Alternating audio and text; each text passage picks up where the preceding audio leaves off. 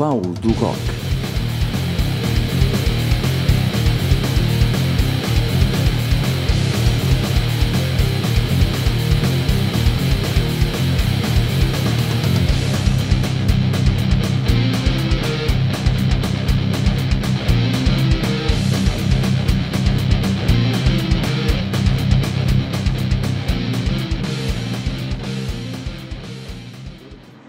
Então, olá pessoal, eu sou o Bernardo, eh, sou de Vila Velha de Rodão. Comecei a tocar guitarra com 14 anos. O primeiro contacto que tive com o instrumento foi para aí com 7 ou 8 anos. Epá, encontrei um piano daqueles a pilhas lá no forro da minha avó. Lembro-me de ter tocado o mesmo loop durante tipo, umas duas horas seguidas e fiquei encantado da vida. Pensei intermitentemente, epá, é isto, é isto, é isto, isto é fixe, isto é fixe. Depois acabaram-se as pilhas e fiquei sem tocar nada até aos meus 14 anos. Que foi quando saiu uma, uma, uma guitarra clássica nas rifas ao meu tio e ele deu-me. Né? Que raio de ideia maravilhosa que ele teve. Dar uma guitarra clássica a um gajo barulhento é espetáculo. Pá, era difícil e difícil era fixe. Eu gostava, dava-me mais gozo e sempre me deu mais gozo as coisas difíceis. Ehm, pronto, comecei por tocar eh, cifras de músicas de, de, outras, de, outra, de outra malta, tipo covers, Foo Fighters, Metallica, eh, pá, System of a Down, pronto, mas sempre com a ideia de criar música, ou seja, de ter o poder da escolha de, de ritmos, de notas, eh, a liberdade, digamos em si, cat- cativou-me bastante, que a música me oferecia. Também tive a sorte de, ou a oportunidade de crescer e ter contacto com malta que tocava. O, meu tio Pedro Belo era baterista nos Portas de Roda, que era uma banda de baile lá, lá de Vila Velha, do sítio de onde eu sou. Uh, pronto, uh, o próprio nome indica isso, né? é uma homenagem à, à lendária formação rochosa, que até foi nomeada para uma das sete maravilhas de Portugal. Enfim, rodam, né? Uh, pronto, o meu tio tocava também com o Mabel Pires, que ainda me instruiu duas ou três vezes na guitarra. Ensinou-me a dedilhar, ensinou-me os acordes básicos. uh, pronto, foi uma experiência muito porreira com o Mabel, que é um gajo, pá, um gajo caricato.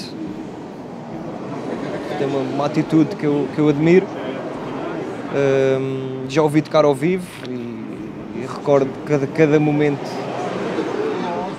passei, que presenciei, a ver o Amável a tocar ao vivo, como se fosse hoje, como uma boa memória. De crescer na mesma avenida que o Telmo Ribeiro, a Avenida da Bela Vista, né? Outro, outro ser muito carismático e misterioso que me inspirou bastante na minha infância e juventude, Pá, pela sua atitude, genialidade e versatilidade, porque ele toca vários instrumentos, ele canta, toca guitarra, toca baixo, toca bateria, pá, é um gajo top.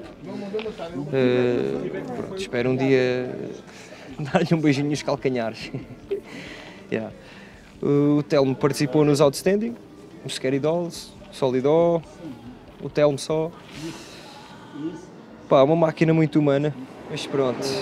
A minha mãe, apesar de não estar ligada à música, também me inspirou, pois a expressão artística é algo que, que- que sempre me cativou muito. Eh, eu gosto muito dela, né? Participei, pá, participei no- num projeto eh, Rock and Power, foi malta de Nisa que me vieram buscar do nada. Lá souberam que eu fazia alguma coisa e vieram buscar para, para tocar com eles. Eh, era o Mário Macedo no baixo, Sérgio Pereira na bateria e o Carlos Matos na guitarra. Eh, eu estava na voz como vocalista. Foi um projeto onde eu me digamos assim, nos palcos. Foi, foi difícil, mas foi muito bom. Gostei de, de realizar esse projeto com eles. Eh, houve muitos ensaios, pá, aprendi muito, muito com eles. Malta boa que jamais esquecerei a experiência que me proporcionaram. Sempre pelo Gentes de Rodam, que era um grupo, era e é, um grupo de bombos de Vila Velha de Rodam. Estive a tocar caixa com eles, foi fixe. Pá, deu para tocar com malta da minha terra, que é bacana.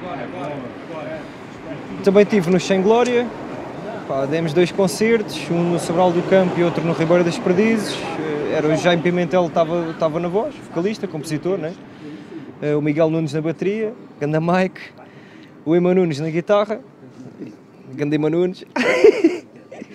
eu estava a tocar baixo, né? também, olha, foi o primeiro projeto em que eu toquei baixo e, aliás, eu vim para o Sem Glória e não, não sabia tocar baixo e a malta deu-me umas luzes de como tocar baixo e, e ainda hoje, pá, já, pronto, diziam que eu tinha que tocar baixo, então eu toquei baixo. não sei bem se eles queriam que eu tocasse baixo ou se queriam que eu tocasse baixo, mas foi o que eu fiz. Pronto, epá, foi uma experiência brutal, também tive, aprendi muito, ou seja, muita escola, exato, epá, e foi uma boa experiência na, na, sua totalidade. Não foi muito longe, mas para mim foi, foi uma experiência também muito fixe. Era um projeto chamado Hardwired, epá, era o Pedro Pereira na bateria, o Emma estava, estava a cantar, umas cenas que ele tinha, uh, o Pedro Nunes estava a tocar guitarra, solos e cenas assim, eu estava no baixo e fazia as segundas vozes, Tivemos três ensaios e em três ensaios fizemos três temas, pá, que eu acho que foi muito produtivo. Pena o projeto não ter ido para a frente, né? mas pá, pronto, mais virão, espero eu. Com o Pedro Pereira na bateria, o Hélio Voltaic, guitarra-voz, o compositor, né? Eh, eu estou a, tocar, estou a tocar baixo, não sei se já disse. Eh, o Rui Almeida faz as segundas vozes, ele tem um projeto também, a solo, que se chama Solitary Man. Aconselho a ir ver na página porque é uma, uma cena bastante interessante. Eh, mantém-vos agarrados, tem assim uma, digamos que cria um suspense que, que agarra a malta, é fixe. Uh, pronto, é um projeto que, segundo consta, já tinha alguns aninhos e eu entrei agora só, né? Uh, mas o que eu vejo é que o projeto agora está a andar a passos largos e espero que seja para o sucesso. Né? Vamos ver se, se corre tudo bem. Né? Pá, é um projeto também recente, com o Pedro Pereira na bateria, Pedro Nunes na guitarra, estou a tocar baixo, um projeto a começar, assim, de instrumentais, assim, algo para viajar na maionese, digamos assim, como a malta diz. e a malta dá-se bem, vamos ver se, se, corre, se corre tudo bem. Né?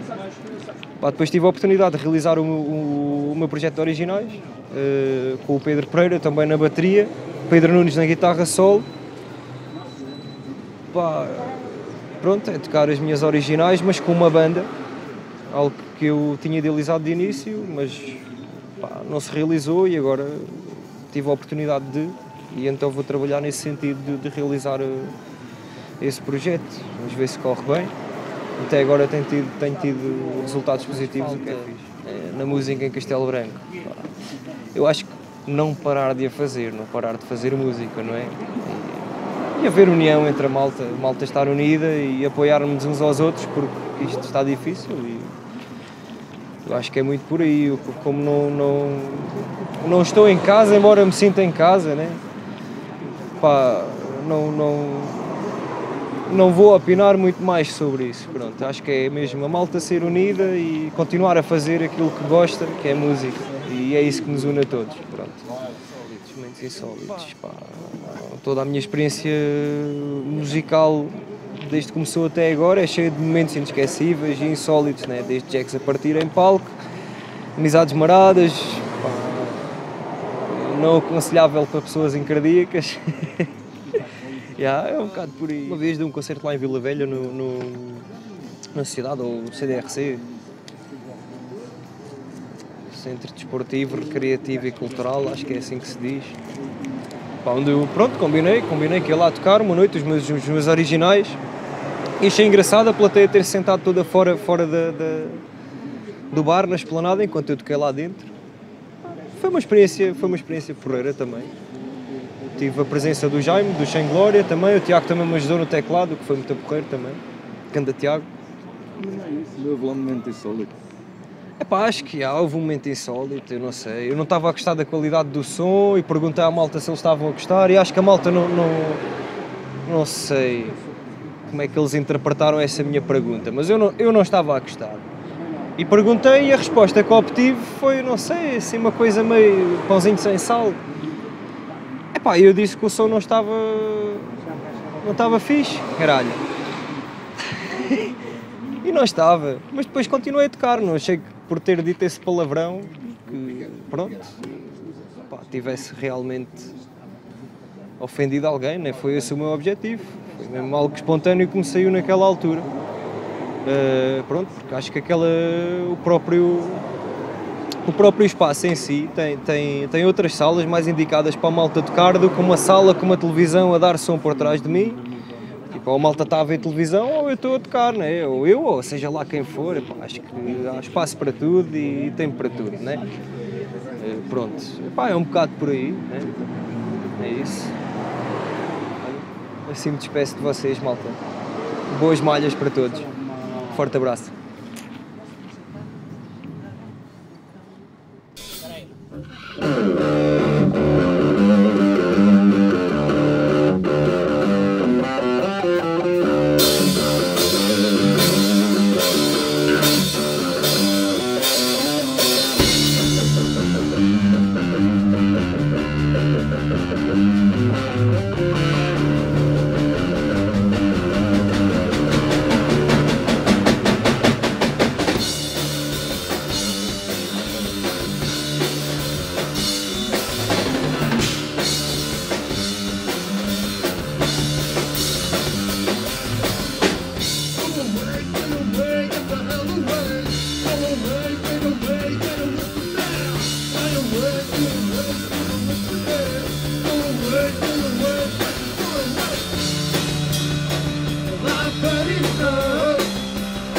and take green shirts.